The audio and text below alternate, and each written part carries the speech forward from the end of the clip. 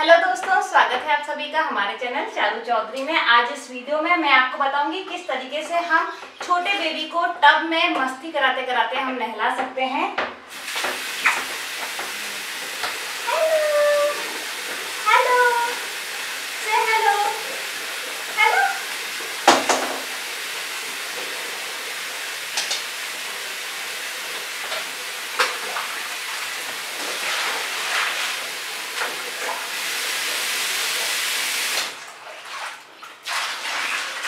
देखिए आपने देखा होगा कई बार बच्चे जो है बहुत ज़्यादा रोते हैं नहाते टाइम तो किस तरीके से आप बच्चों को खेल खेल में जो नहाना है वो एंजॉय करा सकते हैं? वो हम सीखेंगे और किस तरीके से आप बच्चों को एकदम अच्छे से क्लीन रख सकते हैं। तो देखिए, ये टब में कुछ टॉयज आप देखेंगे, बहुत तरीके के टॉयज मिल जाते हैं। वो आप बच्चे खेलते रहें, इसलिए आपको टब में डाल देने हैं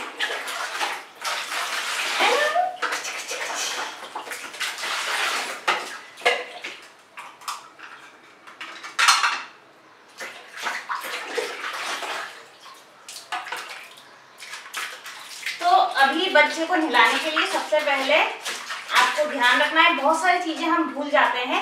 जब बच्चों को नहलाते हैं तो देखिए खाना खाते समय नेक के नीचे बहुत सारा मैल जो है वो जमा हो जाता है। तो हमको बहुत अच्छे से सबसे पहले जो नेक है, उसको रगड़ लेना है।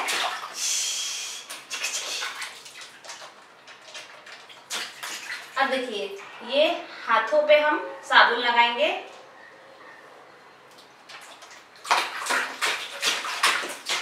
अगर आपका बेबी सिक्स मंथ से ऊपर है अच्छे से नेक संभालने लग गया है तो इस तरीके से अगर आप बच्चों को नहलाते हैं तो कोई भी दिक्कत नहीं है। ज़्यादा छोटे बच्चों को नहलाने का तरीका मैं ऑलरेडी आपको बता चुकी हूँ, एक वीडियो मैंने अपलोड की हुई है।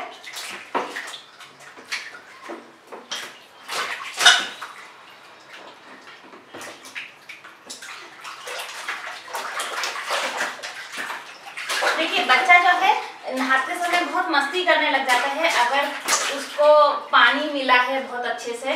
तो बहुत देखिए, अभी इसको कितना मज़ा आ रहा है, आराम से वो छप छप कर रही है। और जब आप जब आप नहलाते हैं, तब उसके बाद में आप नहाएँ, क्योंकि बच्चे आपको गीला भी कर देते हैं, मस्ती करते करते।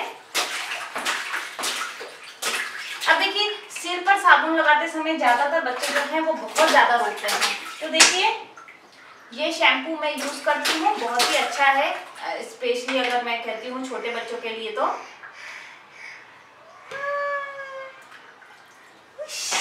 लो ये देखो तो देखिए, बच्चों को पता नहीं चलेगा और आपको ऐसे करके धीरे धीरे सिर पे और सब जगह आपको शैम्पू लगाना है। बच्चे बहुत ज़्यादा घबरा जाते हैं सिर पे शैम्पू लगाने से, बट आपको यहाँ पे बच्चे को पता नहीं चलना। ये तो बच्चा एंजॉय करे नहाना, ये बहुत ज़्यादा ज़रूरी है। इसी से बच्चे में जो हाइजीनिक रहने की जो आदत है वो बनती है। सोप अगर आप कहेंगे कि कौन सा यूज़ करें तो अ, मैं आपको बताऊँगी हिमालय और जॉनसन बेबी दोनों ही सोप मुझे अपने बच्चे के लिए अच्छे लगे हैं। तो आप दोनों में से कोई सा भी सोप यूज़ कर सकते हैं। देखिए अब चेहरे पे लग, जब हम साबुन लगाते हैं तो बच्चा जो है वो बहुत ज़्यादा घबरा जाता है। तो आपको क्या करना है? बच्चे के साथ थोड़ा सा खेलना है देखिए।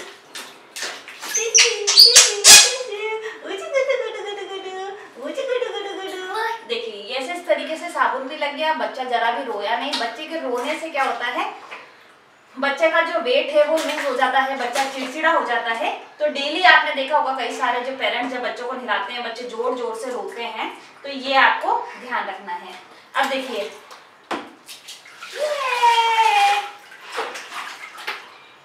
अब देखिए, बच्चे की जब आपको मुँह धोना है तो ध्यान रखना है, आँखों में साबुन बिल्कुल ना जाए।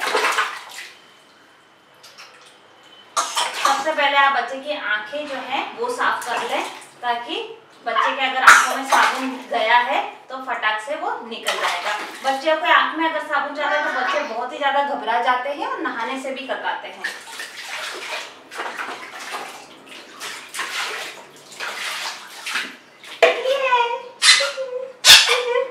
कैसे करते चीचू?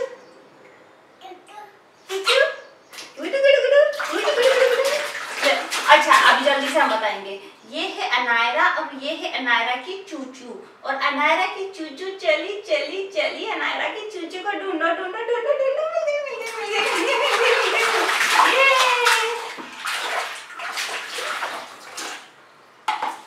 अब अब हम सिर पे पानी डालने का देखो नंबर आ गया है बच्चे जो हैं सबसे ज़्यादा इसी में घबराते हैं तो सबसे पहले आपको क्या करना है पीछे की तरफ़ पानी डाल देना है देखो देखो चूचू पानी देखिए अभी पीछे का सिर जब अच्छे से धुल जाता है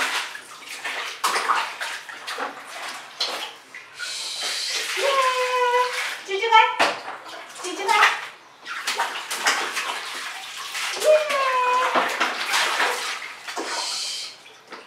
बच्चों के आँख में पानी नहीं जाना चाहिए इस चीज़ का आपको ध्यान रखना देखिए अभी इसको समझ में आ गया ओ चूचू चूचू, चूचू, चूचू। आज गुडू, गुडू, गुडू। बैठ जाओ बैठ जाओ जल्दी से। और ये हो गया। और हमको ध्यान रखना है बच्चे, के आँख में साबुन नहीं जाए बैठ जाओ चूचू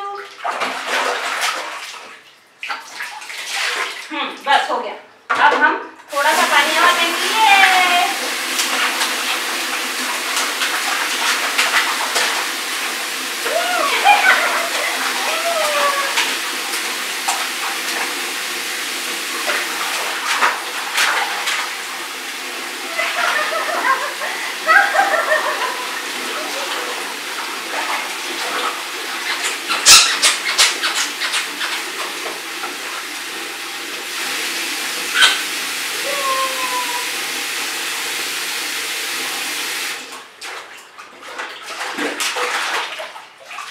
अब एक बार और अच्छे से आप पानी सिर पे डाल लीजिए बच्चे के शैम्पू निकल चुका है तो अगर आप कानों में पानी ना जाए, ये ध्यान रखें, एकदम सीध में पानी डालें।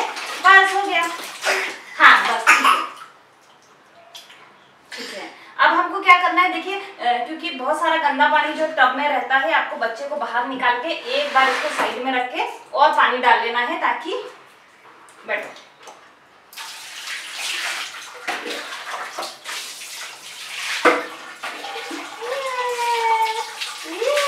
बस हाँ ओके तो बाय बाय टाटा करो जल्दी से टाटा करो और को टाटा करो बेटू टाटा और देखिए ये बाथ गाउन लाया हुआ है जो कि मैं अनायरा हमेशा नहलाने के बाद पहना देती हूँ। एंड बस, देखिए, अभी बच्चे का मन इतना करता है नहाने का कि वो छोड़ना नहीं चाहता। तो बच्चे का मन इस तरीके से, जब आप उसको मस्ती कराते हैं, उसको गेम करवाते हैं, तब जाके इच्छा करती है बच्चे को डेली नहाने की।